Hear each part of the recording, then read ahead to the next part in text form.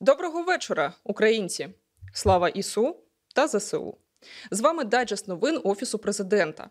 Новини цього великоднього тижня свідчення того, що Бог береже Україну руками наших бійців.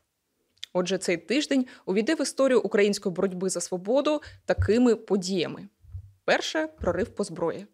Україна почала отримувати серйозні обсяги потужних озброєнь від наших партнерів. Так, відвідавши звільнену бородянку, прем'єр-міністр Данії пообіцяла нам ще більше зброї. Бо цитую: зараз це те, що потрібно найбільше. І додам якомога більше. Нам потрібен повномасштабний ленд-ліз. Друге поступ євроінтеграції. У понеділок Володимир Зеленський передав керівникові представництва ЄС заповнений опитувальник, заповнення якого є необхідним кроком для надання Україні статусу держави-кандидата. Нагадаю, голова Єврокомісії Урсула фон дер Ляєн вручила його президенту 8 квітня. Тож, як і було обіцяно, українська сторона впоралась із документом за тиждень. Подача заявки про вступ запланована на літо. Третє план дій щодо санкцій. Його оприлюднили вчора керівник офісу президента Андрій Єрмак та екс-радник президента США з нацбезпеки посол Майкл Макфол.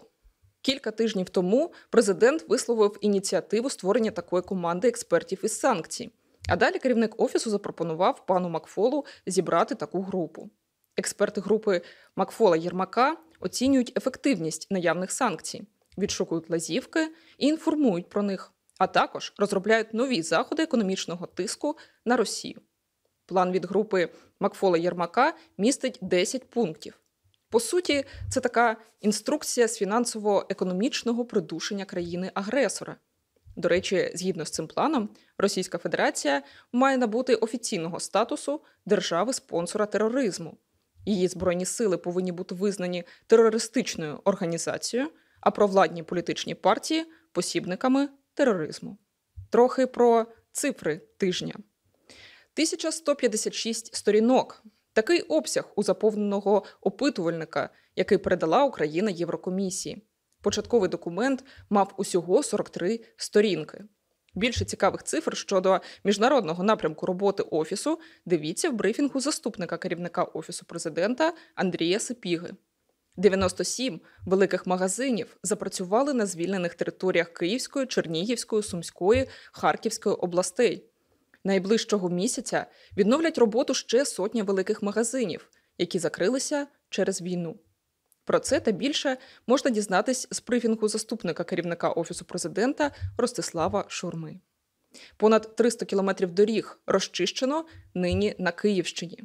Протягом доби в області підвели світло до 29 населених пунктів. У 91 вже є газ. Залізницею за цей час евакуйовано понад 3 мільйони 855 тисяч осіб. Гуманітарними коридорами евакуйовано 298 тисяч людей. Більше інформації на цю тему дивіться у брифінгах заступника керівника Офісу президента Кирила Тимошенка. Понад 400 українських дітей з онкологією вивезено на лікування за кордон в рамках домовленостей між дружиною президента України Оленою Зеленською та першими леді інших країн світу. Україна лишається головним світовим ньюзмейкером. Нас хочуть чути і прагнуть допомогти. До офісу президента постійно звертаються провідні змі планети.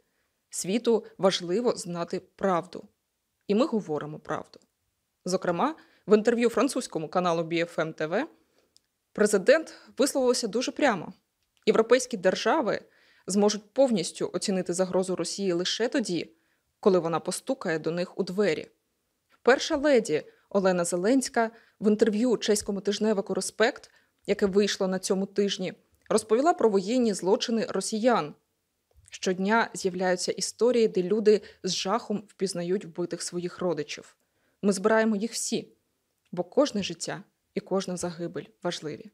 Ми хочемо покарання для вбивць, сказала вона у інтерв'ю. Тим часом у розмові з Джейком Тапером із американського CNN Андрій Єрмак наголосив, що Україні та світу потрібна нова дієва система безпеки, і Україна виборола право бути одним з її основних елементів та лідерів.